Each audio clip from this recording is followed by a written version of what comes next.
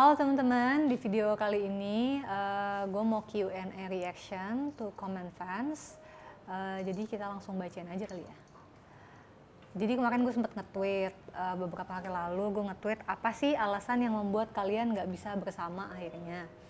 Dan ada beberapa followers gue yang nge-reply. Salah satunya dari Rudy the Shred alasannya katanya nggak bisa bersama akhirnya karena alasan finansial. Uh, apa ya susah sih ini kayak hal yang paling fundamental.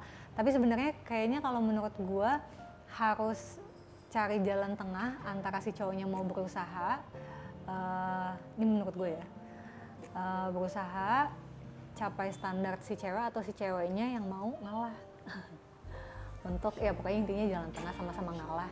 Ceweknya usaha cowoknya usaha. Balasan dari nggak kebaca Yusa Al Ahad wih gila namanya. Aku terlalu baik buat dia katanya. Mungkin love language dia physical. Enggak ini bercanda nih pasti aku terlalu baik buat buat dia katanya. Kayaknya nih ceweknya nggak suka nggak sih? Nggak naksir nggak naksir beneran kalau gini mah alasannya. Nggak di fix.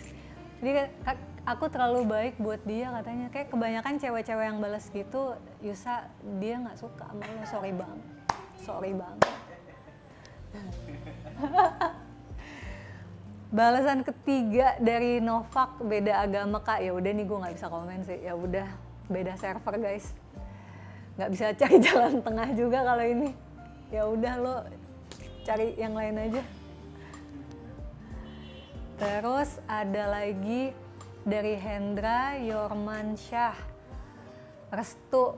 Nah kalau restu nih macam-macam nih ya kan bisa juga tadi kayak finansial ada juga yang bapaknya. Gue gue juga kemarin sempat baca uh, apa beberapa balasan papanya nggak ngerestuin karena hmm, yang satunya bapaknya seseorang yang satu lagi ya dia ngerasa dia bapaknya bukan siapa-siapa.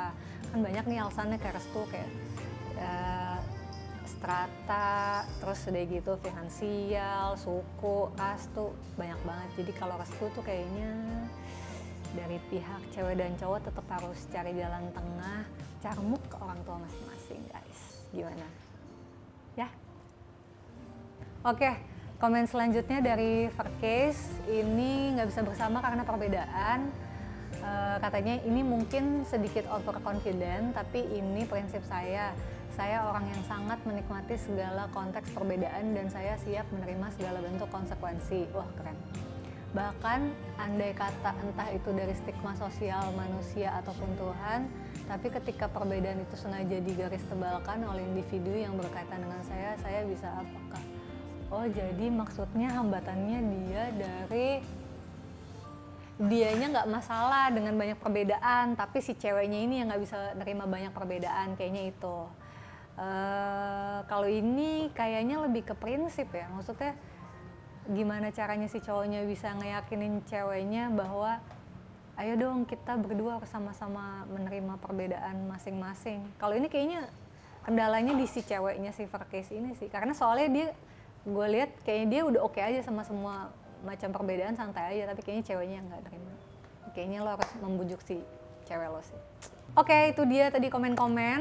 Uh, dari teman-teman di Twitter dan Instagram. Terima kasih sudah berpartisipasi. Uh, semoga suka dan semoga suka sama lagunya dan terus pantau Instagram gue kali ya. Jangan lupa dengerin lagunya di semua platform digital dan tonton video videonya di YouTube. Dadah.